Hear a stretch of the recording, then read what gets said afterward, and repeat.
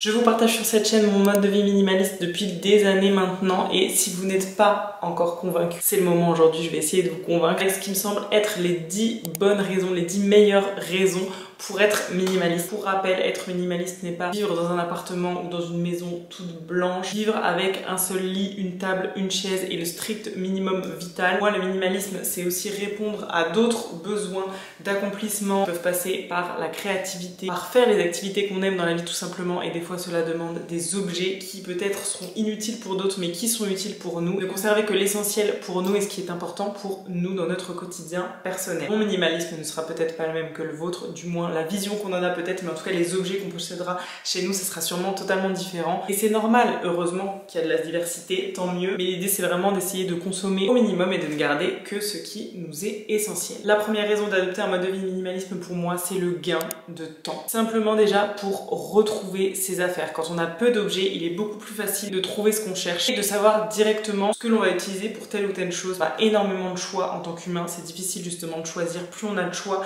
et plus on va prendre le temps de réfléchir et être complètement perdu. Donc en se réduisant ce nombre de choix, de possibilités, dès qu'on a envie de faire quelque chose, on va savoir directement vers quel objet se tourner. C'est un temps aussi de gagner pour faire le ménage. Clairement, une maison minimaliste où il y a moins d'objets possibles, c'est beaucoup plus simple le soir de ranger. Je sais que moi, c'est vraiment quelque chose sur lequel je suis euh, à cheval pour ma routine bien-être, de ranger la maison le soir, c'est-à-dire de faire la vaisselle, de ranger le plan de travail dans la cuisine, tout est rangé. Donc l'idée de ranger le soir, d'avoir vraiment une maison clean le soir, c'est super important pour moi et c'est possible parce qu'il y a peu de choses qui traînent. Le plus de choses qui traînent, ça va être les jouets de ma fille, clairement. Parce que c'est elle qui va déplacer le plus de choses, etc. Mais pareil, il y a des petits trucs comme son panier pour ranger rapidement les choses. Et globalement, le fait de savoir aussi où va chaque chose, d'avoir vraiment un emplacement dédié pour chaque chose. Et ça, c'est possible uniquement quand on a peu d'objets. Parce que si on a énormément de choses qu'on met à droite, à gauche, où il n'y a pas d'emplacement particulier, parfois il y a des tiroirs aussi un peu fourre-tout, etc. Là, on se retrouve vite débordé et on ne sait plus où ranger les choses, ça prend un temps fou. Le fait d'avoir moins d'étagères, moins d'objets de déco, forcément il y a aussi beaucoup moins de poussière à faire. Le fait d'avoir moins de meubles, bah, il y a moins de choses à soulever, à tirer quand on passe aspirateur, quand on passe à serpillière. Par exemple, quand vous venez d'avoir un appartement et que vous faites le ménage quand l'appartement est vide, c'est clairement beaucoup plus simple et facile que quand l'appartement est meublé. Donc réduire les meubles, réduire les objets en règle générale, ça vous facilitera un temps de rangement et de ménage considérable. Ce qui m'amène à mon point 2 qui est la charge mentale. Vraiment, ces deux points, le gain de temps et la réduction de la charge mentale, c'est vraiment moi ce qui me fait rester dans ce mode de vie minimaliste. Parce que je vois au quotidien à quel point je perds moins de temps et surtout je me prends beaucoup moins la tête avec les choses. Comme je vous le disais, on perd moins de temps à chercher, mais du coup c'est aussi moins de prise de tête mentale à se dire où est-ce que j'ai mis ce truc là, peut-être qu'il est à la cave, que je l'avais rangé dans tel tiroir. Il y a beaucoup moins d'espace, donc déjà par exemple quand vous cherchez quelque chose, je sais quand Alma perd quelque chose par exemple, c'est beaucoup plus rapide de le retrouver, cette chose là, un jouet ou quoi que ce soit, parce qu'il y a moins d'endroits où les mettre tout simplement. Donc ça va plus vite, on se prend moins la tête au quotidien. Et rien que pour ça, j'adore ce mode de vie. Même des fois, je me dis, il y a des choses que je veux laisser partir, que je désencombre au max parce que je sais que plus j'ai de choses et plus ça va me prendre la tête au quotidien. Parce qu'avec aussi chaque objet, il y a son lot de coût. C'est-à-dire qu'il y a un coût en temps, mais il y a un coût en prise de tête, en entretien. Par exemple, en ayant acquis une voiture ici, vu maintenant que je suis en province, j'en ai besoin, je vois le nombre de choses qu'il y a à faire quand on a une voiture, que ce soit laver l'intérieur, laver l'extérieur, les contrôles techniques, quand il y a une réparation. Il y a énormément de charge mentale qui est liée à ce moyen de locomotion et j'ai l'impression que plus on a de luxe dans la vie, plus on a de charge mentale liée à ce luxe. Je sais pas, par exemple, quand on a un jardin, bah, on doit tondre la pelouse, entretenir les arbres, donc potentiellement acheter plus de choses, c'est encore plus coûteux, acheter une tondeuse ou faire venir des gens qui peuvent euh, entretenir le jardin, etc. Donc chaque petit luxe comme ça, ce sont des petites choses de la vie simples comme avoir une voiture, avoir un jardin. Et ce qu'il faut se rendre compte, c'est que ça vient vraiment avec son lot de charge mentale et avec son lot de coûts aussi financiers. Et c'est mon troisième point, le fait d'être minimaliste me permet de faire des économies au quotidien. Mais des économies clairement pas négligeables, comme je vous le disais. Donc ça peut être un coût d'entretien, un coût de ménage, un coût de temps. Ce qui revient très souvent à avoir un coût financier comme la voiture, l'assurance qui va avec, il y a le contrôle technique, il y a très souvent des réparations qui vont avec, il y a l'essence qui va avec. Donc ça, tout ça, ça fait partie de l'entretien de la voiture pour faire vivre la voiture, la faire durer dans le temps, etc. Quasiment tout objet a un coût financier qui persiste au fil fil du temps. Donc après, il y a des objets qui ont un moindre coût, comme par exemple, je sais pas, par exemple, un vase que vous allez laisser, bah, il va peut-être vous coûter beaucoup moins parce qu'il ne bouge pas, parce qu'il n'a pas besoin d'un entretien particulier. Mais je sais pas si c'est un vase qui prend régulièrement la poussière, il va falloir le nettoyer, utiliser des produits, du temps, bref. Ça a quand même un petit coût financier de s'occuper au global de sa maison. Et donc, qui dit moins d'objets, dit moins d'entretien et forcément, c'est moins coûteux. Mais dans un mode de vie minimaliste, on a aussi une volonté de moins consommer, de moins acheter et de faire durer nos achats souvent plus longtemps. Étant donné que le but du jeu, c'est vraiment pas de s'encombrer et d'acheter énormément de choses, chaque achat va être beaucoup plus réfléchi, beaucoup plus pensé en amont. Moi, je sais que je me fais des listes pour vraiment me dire est-ce que j'ai besoin de cet objet, est-ce qu'il va me durer dans le temps, est-ce qu'il va aller avec d'autres objets, par exemple, notamment des pièces dans mon dressing minimaliste, est-ce qu'il va euh, aller avec tel ou tel vêtement, est-ce que je vais le porter sur le long terme? Plein de questions qui font que vraiment, pour qu'un objet rentre dans ma vie, il faut qu'il me soit utile, il faut qu'il y ait un besoin, il faut qu'il passe un petit peu toutes les étapes de validation pour me dire ok j'en ai vraiment besoin, ça va m'apporter ça, ça, ça, ça,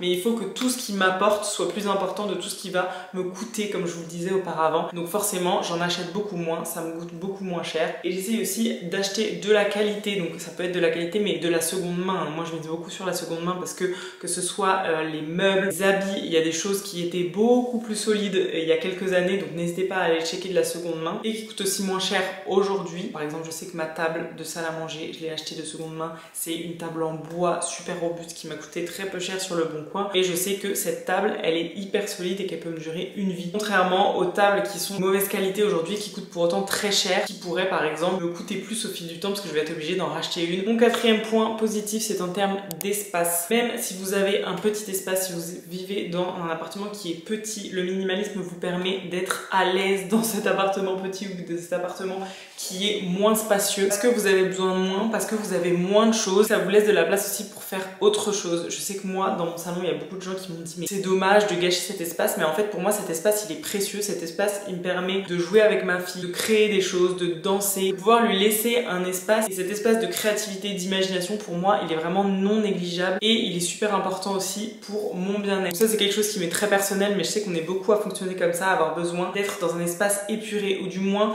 qui est clair épuré, ça veut pas dire où vraiment il y a rien du tout, vous avez que des murs blancs. Moi, je sais que j'ai de la déco, j'ai des choses qui comptent beaucoup pour moi, que j'ai chiné, qui ont de l'importance. Un espace épuré, ça peut être juste un espace qui vous correspond, qui peut éveiller votre créativité. Souvent, moi, j'ai besoin d'être vraiment dans un espace propre, rangé et épuré pour pouvoir travailler, par exemple. ça m'apporte beaucoup plus de bien-être au quotidien d'être dans cet espace qui est clair, où il y a de l'espace et où on n'est pas encombré de plein de petites choses. Enfin, vraiment, moi, c'est mon angoisse d'être dans des espaces qui sont très, très, très encombrés. Les études qui ont été menées, c'est pour ça que maintenant les open space, c'est aussi des grands espaces où il y a peu de choses, etc. pour que les gens se sentent bien, pour qu'ils puissent travailler, parce que c'est vrai qu'un espace encombré, il y a vite plein de choses qui attirent notre attention et on a du mal à se concentrer. En numéro 6 pour moi, le mode de vie minimaliste permet d'avoir vraiment un rapport à la consommation qui est totalement différent. Avant, personnellement, j'avais une consommation qui était très liée à mes émotions, c'est-à-dire quand j'avais passé une mauvaise journée, quand je sentais que ça allait pas bien ou même quand j'avais besoin de me faire plaisir pour une raison qui était plutôt émotionnelle, bah je me disais je vais aller faire du shopping, je vais m'acheter 2-3 vêtements, ça me faisait du bien sur le coup mais au final ça ne nourrissait pas ou ça ne guérissait pas le problème de base. Et je trouve que souvent la consommation et le fait d'acheter nous procure un plaisir qui est vraiment sur le moment, mais qui ne dure pas dans le temps. Ça peut être clairement un échappatoire d'être dans l'action de consommation au lieu de regarder plutôt ce qui se passe à l'intérieur de nous. Aujourd'hui, j'ai une façon de consommer qui est très différente. Pour autant, j'ai pas du tout d'attachement émotionnel avec les objets aussi. Donc c'est pour ça que je peux m'en débarrasser très facilement. Moi, les objets, ça reste des objets. Et pourtant, j'ai à cœur d'en prendre soin, de vouloir les faire durer le plus longtemps dans le temps, mais j'essaie vraiment de m'en détacher au niveau émotionnel. Le septième point pour moi, c'est qu'on n'est pas obligé d'être frustré quand on est minimaliste. Vraiment, je trouve que c'est ce changement de façon de consommer lié aux objets qui fait que on arrive vraiment à se contenter de nos propres objets, à les aimer pendant longtemps, justement parce qu'on n'est pas dans cette quête à chaque fois de renouveau et de vouloir absolument un nouvel objet. Dès qu'on en achète un, on en a envie d'un autre, etc. Le fait de pas être dans cette poursuite de consommation à chaque fois fait qu'on apprécie les objets qu'on a et plus plus. C'est vraiment, euh, si des objets sont là dans nos vies, c'est vraiment qu'on les apprécie vraiment énormément. Et du coup, on a envie de les garder, on a envie de les conserver. Pour autant, il y a plein d'autres moyens de consommer aussi pour ne pas être frustré. Par exemple, si vous adorez les jeux de société, vous pouvez aller à la ludothèque et en louer énormément. Je trouve que c'est beaucoup plus logique en plus parce que les jeux de société, ça se joue sur un moment, mais après ça se stocke et vous pouvez pas jouer à énormément de jeux de société en même temps. Pareil pour les livres, que ce soit la bibliothèque, la ludothèque. Maintenant, il y a plein de choses qu'on peut louer aussi en supermarché, les raclettes, les robots. Vous voulez faire, vous faire ce genre de plaisir, le minimalisme, ça va pas vous dire, ok, vous n'achetez plus rien, vous ne vivez plus, c'est fini. Mais c'est juste une autre façon de consommer sans tout vouloir accumuler chez soi et tout vouloir acheter, mais plus d'échanger, de faire du troc avec ses proches, de vouloir continuer à tester de nouvelles choses, à vouloir profiter de la vie mais en ayant une consommation qui est différente. J'ai mes allergies qui sont fois 1000 là. Big up à ceux qui sont allergiques au pollen. Le minimalisme, c'est aussi privilégier les expériences aux objets. Pour moi, ça revient vraiment à vivre plus, plus, plus, à profiter de la vie, à vivre de nouvelles expériences, au lieu de vouloir tel objet, tel vêtement, tel sac de marque, etc.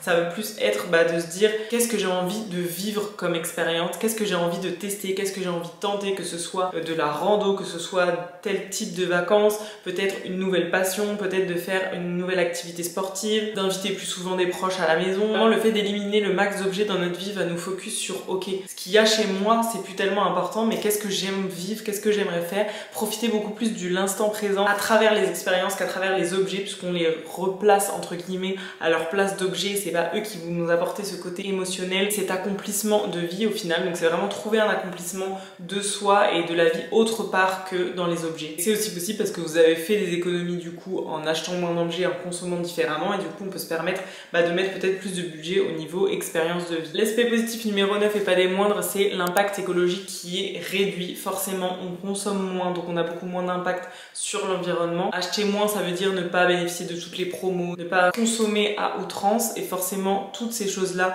que ce soit au niveau des meubles, au niveau des vêtements, ça a un impact sur l'écologie. On sait maintenant aujourd'hui que la fabrication des vêtements, que la fabrication même des produits ménagers par exemple, a énormément d'impact écologique, que ce soit dans la fabrication, le transport, même pour l'utilisation des cosmétiques ou des produits ménagers, ça a énormément aussi d'impact sur notre santé. Être minimaliste pour les produits ménagers par exemple, c'est vraiment revenir à l'essentiel en faisant par exemple nos produits ménagers maison pour en utilisant un seul produit, du savon de Marseille, du savon noir, du vinaigre blanc pour toute la maison. Donc ça fait beaucoup moins de produits, beaucoup plus d'espace dans les placards, beaucoup moins d'achats aussi, ça coûte beaucoup moins cher. Et tout ça, c'est meilleur pour notre santé et pour la planète. Quand je dis ça, je me dis mais ça a tellement d'impact positif c'est fou en fait. Rien au monde, j'ai l'impression que je revivrai euh, comme je consommais avant. Parce qu'en fait, ça a tellement d'impact sur tout ce qui m'importe au quotidien que j'ai trouvé ma, voie. Et la dixième chose, c'est la liberté que le minimalisme apporte. Souvent, vous êtes nombreux à me dire que c'est au moment de déménager que vous vous rendez compte, ok, faut que je désencombre parce que là j'ai trop de choses et en fait je peux pas amener toutes les choses que j'ai d'un point A à un point B parce que je sais que de toute façon ça ne me sera pas utile. Le minimalisme ça apporte aussi énormément de liberté pour les personnes qui déménagent beaucoup, qui vivent en van souvent, ont très peu d'affaires et le minimalisme apporte cette liberté de vie de se dire qu'on peut changer de vie, qu'on peut déménager. Même s'il y a un changement de vie soudain qui arrive dans notre vie, bah on sera à même de pouvoir rebondir assez facilement parce qu'on a peu d'affaires, peu d'objets et donc ce sera facile pour nous d'organiser ce changement de vie, ce déménagement. La liberté en règle général, de se détacher des objets émotionnellement, que ça ait beaucoup moins d'importance, c'est vrai que ça libère aussi énormément. Voilà pour ces 10 bonnes raisons d'être minimaliste. N'hésitez pas à me dire si vous en voyez d'autres et si ça vous a convaincu. N'hésitez pas à partager votre avis en commentaire, à mettre un petit pouce si cette vidéo vous a plu parce que ça encourage toujours mon travail. Et si le thème du minimalisme vous intéresse, il y a énormément de vidéos où j'aborde le sujet sur ma chaîne, donc je vous mets aussi en barre d'infos d'autres vidéos vous pouvez aller regarder si le sujet vous intéresse. Merci d'avoir regardé cette vidéo jusqu'au bout et on se retrouve la semaine prochaine pour une prochaine vidéo. Ciao